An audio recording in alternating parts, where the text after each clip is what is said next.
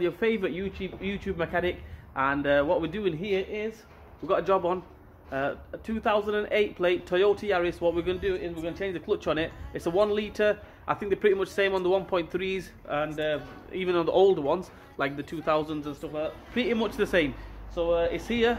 Um, it's not going to do itself. Let's go.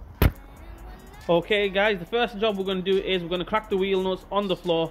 Or uh, if you've got a you know electric gun you can send it up and do it that way. Uh, but I'm gonna do it on the floor that way. You're not putting too much strain on the gun or everything. If you don't know how to take a wheel off you should not be even attempting this job. So yeah I'm not going to show you how to take the wheel off. Right guys the first thing we're going to do is we're going to take the battery lead off. We'll obviously take the wheel we'll crack the wheel nuts like I mentioned. Um, but we're going to take the battery off battery leads off battery bracket off which is here. Right 10 milli nut 10 millis on the battery leads. Uh, take them off but before you take them off ask, ask the customer is, is, the stereo coded? If it isn't coded then happy days. If it's coded then you might need a code for it. You might not. Depends. And uh, yeah after we take that off we can gain access to everything. Dead easy dead simple. Let's go. Let's do this. Right guys as you can see I've took the battery off. We're going to take this off now the battery tray off. Basically 12 uh, 12 milli uh, bolts one here one here, one down there, one down there, and I think there's another one. I think that's about it. Yeah, take them uh, three off. One, two, three, four off. Sorry, take them four off, and uh, that should come off. As you can see, I've got my old tr trusty here. The air ratchet, compressor's building up. No time to waste. Let's go. That's the real deal. Holyfield, ready to go. Let's go. Okay guys, the battery tray is off. Obviously when you come to taking the battery tray off, you'll see these little wires and cable ties on the battery tray as well. You'll, you'll, you'll you know, when you come around to taking off, you'll see. Uh, just cut them off, or if you want, if you want to do it like me, just take them off nicely. Press the button here. Basically, when you get around to it, you'll see it. What we're going to do now. Okay guys, now we've took the battery tray off and everything. Um, I've just took the uh, split pin out from the gear linkage. Take them off. As you can see, they'll come straight off. Right the earth strap. Earth wire take that off the gearbox. 14 milli bolt that's off move that to a side.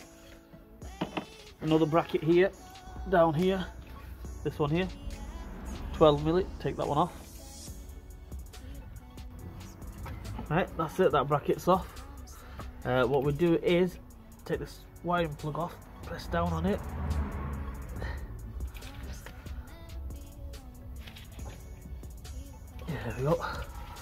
There's that one off. Put it up somewhere there, or tie it up somewhere. Right, what we're going to do is, this is what we're going to do now. The linkages are off from here, yeah? As you can see, the split pin. Uh, took the split pin off. That comes straight off. Another one on that, on the bottom one as well. Here. Take that one off as well. We're not going to take these off. We're not going to take the horseshoe clips off. Right? Because if even if we take the horseshoe clips off, what's going to happen is the, the bracket's still there. When you come to take the gearbox out, that's going to get in the way of everything. So the best thing to do is we've got three bolts on it. One, two, and three down there. 12 millis. Take them off. The whole thing comes out of the way. Tie it up somewhere. Happy days. Out of the way. Alright, for you guys who want to know how you take them off, obviously you can't really get a spanner in there or anything, so you, what you need is a long extension, 12 milli socket with a longish extension, and then you can get to it there just like that. Yep, and I've already cracked them with a socket, uh, with a ratchet, sorry, and then basically take that one off like that. Yeah, the bottom one come round this way underneath the linkage housing straight in there like that. Take that one off. And same with the bottom one. Try and do this with one hand not easiest. Straight in there like that. And take that one off as well. So that's the way you take them three bolts off. There we have it guys. The linkage is off. The gear linkages uh, the bracket is off three bolts basically it's two bolts maybe an idiot i thought the top one is a bolt as well but uh, no that's only a bracket but take all of them off anyway it makes it life easier uh, what, what i suggest you do is you get a packet of cable ties about two three quid Um, even from the pound shop, you can get about 10 20 cable ties um, for a pound. Get some cable ties, zip ties, and tie them up. It makes the job look a lot cleaner, easy access to everything, everything out of the way. You can just tie them up and everything. I would suggest you do that as well. Right, next job for us is we're going to take the slave cylinder off, which is down here. Okay, first off, we're going to take these two bolts off. After we take these two bolts off, this is, this is a cover basically, then the, the main bolts for this uh, slave cylinder is buried behind there. Right, I've took the cover off guys. Yep, them two bolts, 12 millis. Now there's the slave cylinder there. Don't take the pipe or anything off unless you're changing the slave cylinder. We're not changing the slave cylinder, we're changing the clutch. So that can stay as it is. All we're going to do is, we're going to take them two bolts off. There's one right there, and there's another one there. Yeah, take them two off, 12 millis again. The slave cylinder, this on the pipe, you'll have little brackets like that, as you can see there. Yep, take them off. Take this one off here. Where the pipe goes on, the hydraulic pipe. Um, and then hopefully that slave cylinder should move out of the way. Okay guys, there we have it. The slave cylinder is off. Nice and easy. Two bolts, nothing to it. And two bolts on the bracket holding it. On the pipe that is. Right, well, I'm going to do that. Tie this up to a side somewhere with the zip ties or cable ties, whatever, out of the way. And now what we're going to do is we're going to get to the bell housing bolts. Right, the bell housing bolts on this car, basically, it's there's one right there, as you can see. There's a gearbox right there. There's another one right where my finger is there. I'll try to go, go in with the camera so you can see it. Right there, that one here. This one here. That's the bell housing bolt, one on that side, one on this side. Also, we're going to take this off here. That's the starter motor bolt. Take that off. So we've got two 17 millis and one 14 milli. Take them three off and then uh, yeah, that's about it for the top. Okay guys, the next job for us is we're gonna crack the mounting. We took the bell housing off. Right, there's one there, as you can see. About make it out there. Yep, took them off. Uh, two bell housing and one starter bolt off from the top. Uh, what we're doing now is we're gonna take the mounting off. We're not gonna take, sorry, we're not gonna take the mounting off. We're just gonna crack the mounting bolts. Yeah, we're gonna slacken them. We're gonna loosen them off. This one, this one, this one, there's one round the back here, as you can just make it out there. Yep. And the, the main one that goes through this way.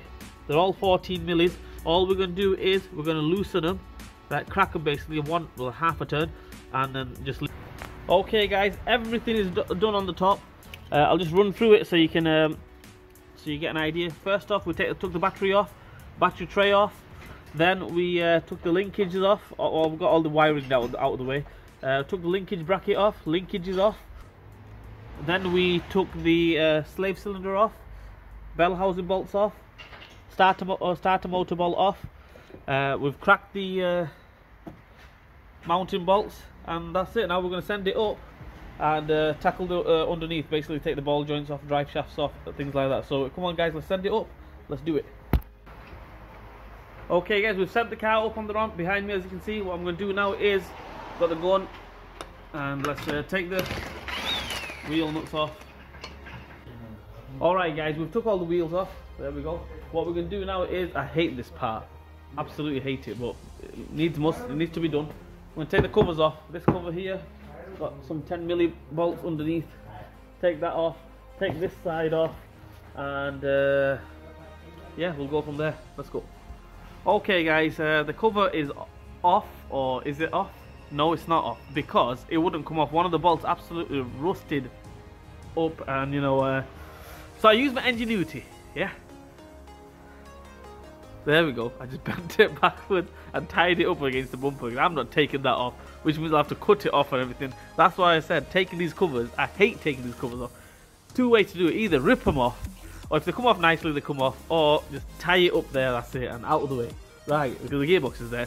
Uh, that's out of the way. Happy days. What we're going to do now is, guys, we're going to take the ball joints off. The These ones here. Take, uh, take the split pin out. Obviously, I can't do it with my fingers, but get a little side uh, side cutters or something. uh, uh, flat screwdriver, flick them off, uh, take the ball joints off. Uh, we're going to drain it. So there's the filler plug. Yep, there's the drain plug, 24 mil socket. Take that off, drain the gear oil, and we'll go from there. Okay, guys, what we're doing now is we're, we're, I've cracked the ball joint really tight. I have to get two spans on it. Use a deadlock spanner on it. So what I'm doing now is I'm going to take them off. Basically, get the 19 milli spanner on it, and there we go.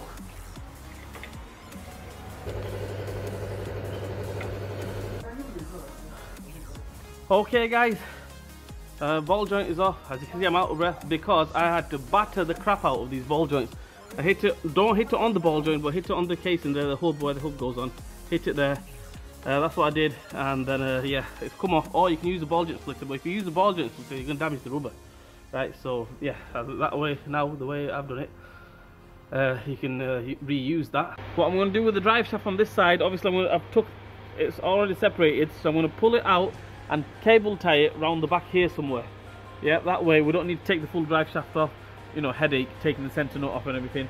On this side, I had no choice. I had to take it off. So that side's off. Bit of a struggle taking the center nut off. It's a multi-spline center nut. I'll show you which one it is.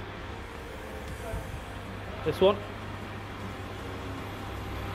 Take that off and just tap it. But don't tap it on the thread. What I did is I get got the uh, nut back on it, a couple of threads, and tapped it with the socket on like that and I tapped it on the back of the uh, back of the strong arm. So now it is we're going to take this bell housing bolt off, leave this one on, just uh, slacken it and leave this one on. I've already started taking these ones off. One, two, three, four. Uh, this the 14 millis on the round the back, 17 millis on the front. So we'll take this one off as well.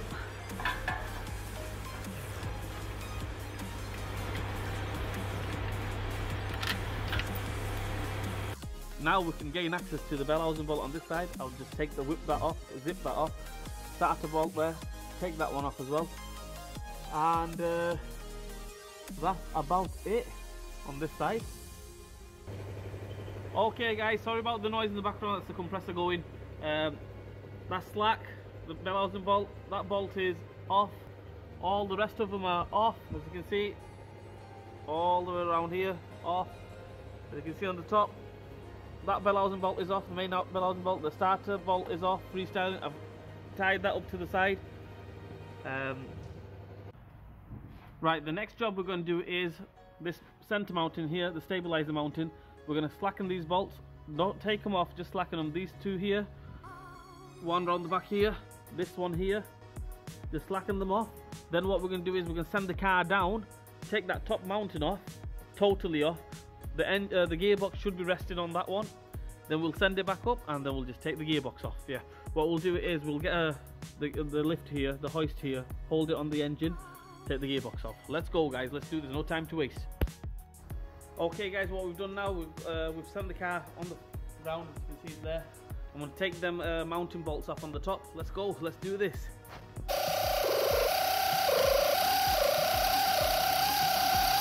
There's one, there's another one right here.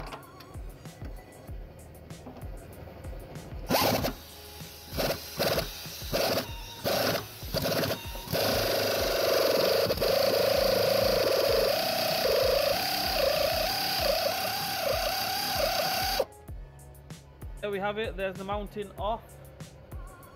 There's the bracket the mounting bracket and everything. The way we're going to do this, obviously I told you take them bolts off. There's another one I forgot to mention right in the middle here. Right, you have to take that one off as well, this bracket's not going to come off. So yeah, uh, take that one off as well. 17 milli there.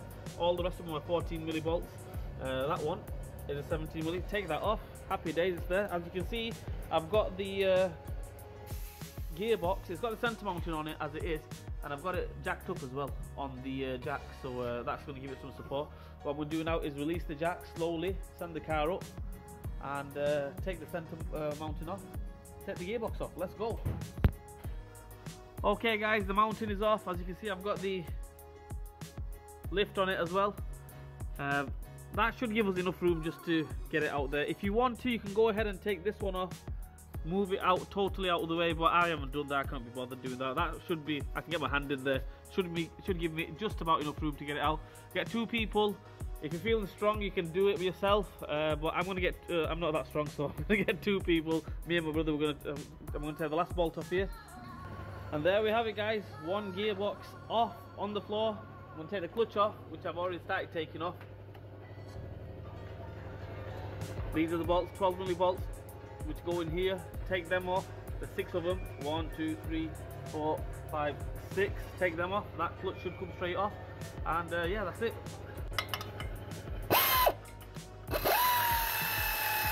Anyway, let's get this gearbox back on. Right guys, we've got the gearbox back on. There we go. Uh, putting all the bell housing bolts back on.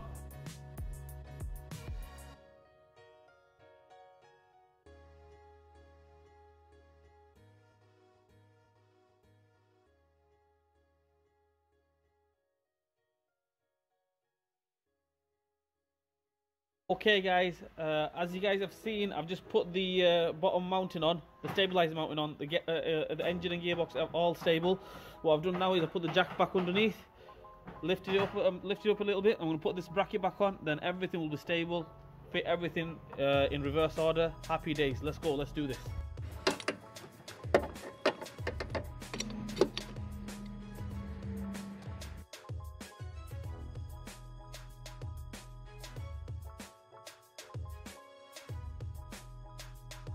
Mounting, everything on. There, that's tight. The four, four bolts are tight. That one's tight as well. Tighten that up as well. What you could do is either way. You can uh, do the bottom first or the top first, whichever way you want. I'm gonna send it up, do the bottom first, get all the ball joints, everything on there, and then I'll uh, come up to the top and finish the top off. Right guys, I've sent the car up on the ramp. What I'm going to do is I'm going to finish everything off on the bottom, everything in reverse order. I'm going to put the drive shafts on, put all the bell housing bolts on, starter bolt, put the starter bolt on over there. Uh, good top tip is put the top one on first, loose, and then put the bottom one on, or put the bottom one on, and then put the top one on, vice versa. Uh, but make sure you have both starter bolts on before you go tightening it up, right? Um, I'm going to put all these on, all the bell housing bolts here, drive shaft on this side, put the gear oil in. You know what, let's go, let's do this.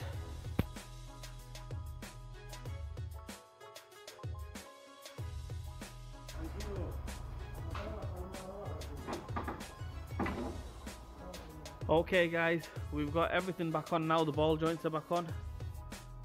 Drive shafts are in. All the bell housing bolts are back on, starters back on, ball joints on on this side, drive shafts on. What we're going to do now is take this one off, put some gear oil back in. There's, there's one thing more, obviously this centre nut. I'll tighten that up while uh, when, when the car's on the floor. Uh, send it down, let's finish the top up, top, top off. Okay guys, obviously I've done everything on the bottom as, uh, as, as, you guys have seen before. Um, what I'm going to do now is I'm going to finish all the top off, put all the bell housing bolts on, all the linkage and uh, this job, we're on the home straight, let's go.